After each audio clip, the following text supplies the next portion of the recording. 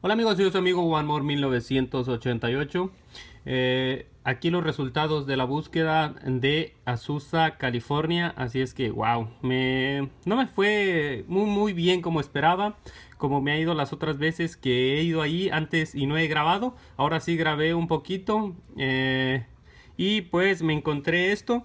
Este viene siendo un set de monedas, eh, un set de monedas Proof. Dice Proof Set 1965 Kingdom of Grecia, Reino de Grecia. Y son monedas proof, eh, realmente muy muy bonitas y a precios eh, muy bajos. El, case, eh, lo de afuera está un poco dañado, pero las monedas se encuentran en muy buena condición y las voy a revisar a más detalle para ver si alguna tiene algún error, porque muchas de las veces tienen error. Así es que este es uno. Me encontré tres sets de Canadá como pueden ver, mm, este es del 69, del 69 y del 68. Dos del 69 y uno del 68, que incluye la moneda de un dólar, 50 centavos, 25 centavos, 10 centavos, 5 centavos y un centavo.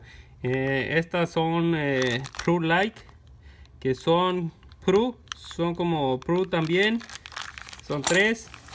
Y me encontré eh, esta moneda de un peso de México en muy buenas condiciones. Es un peso 1965 y cinco monedas eh, falsas. Estas sí son falsas. Son monedas falsas. Las quiero para compararlas. Quiero para hacerles una demostración.